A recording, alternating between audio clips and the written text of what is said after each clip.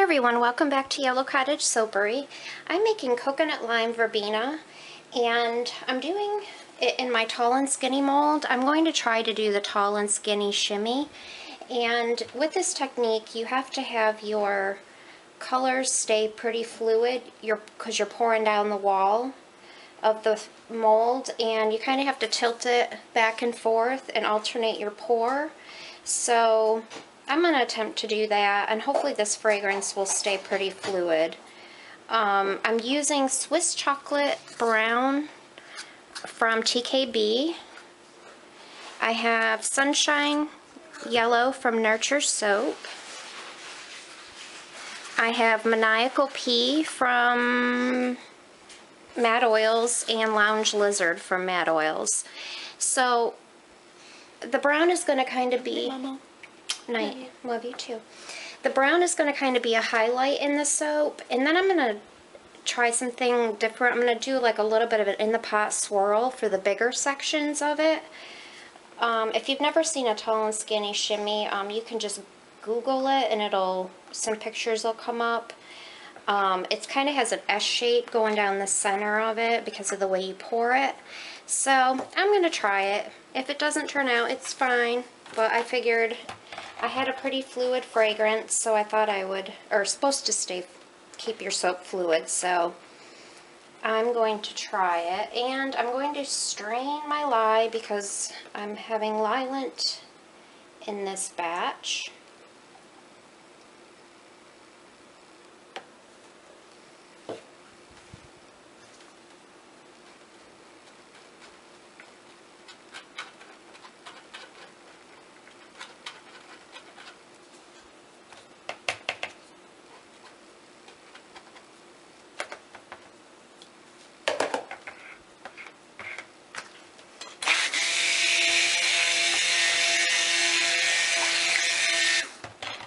Don't want to mix it too much because I want it to stay thin. So I want it, I'm just mixing it just enough to, so it's emulsified. And when you're doing that, what you want to look for is when you're emulsifying, when your when your soap is emulsified, you won't see a difference between the oil.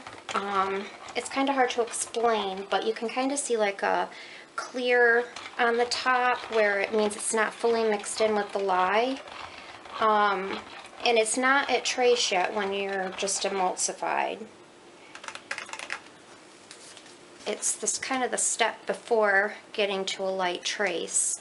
But when you're emulsified, your lye solution and your oils and butters are fully mixed. So it's safe to go ahead and separate and you start um, mixing your colors.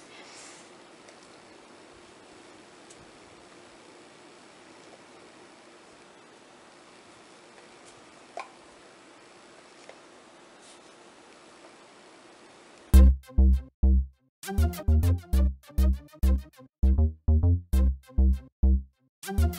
you.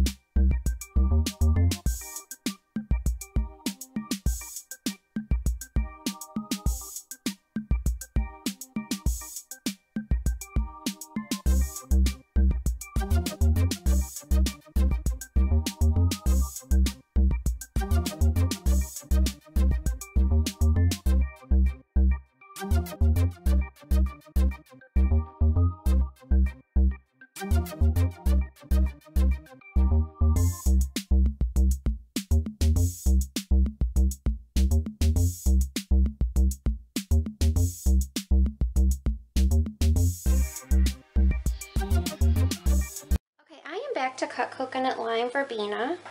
And although I was hoping to do a tall and skinny shimmy, I know that that is not how it turned out. It thickened too quickly on me and wasn't pouring down the wall like it's supposed to, so I'll try the technique again at some point, but it's interesting. I like the in the pot swirl. I don't know if you guys can see very good on camera, the little colors. But if you see with like um, the shimmy, it's supposed to kind of go, um, so these should be more defined, these little parts right here with the color. So it's kind of like it should be, but not really. But it does smell really good if you like coconut lime verbena.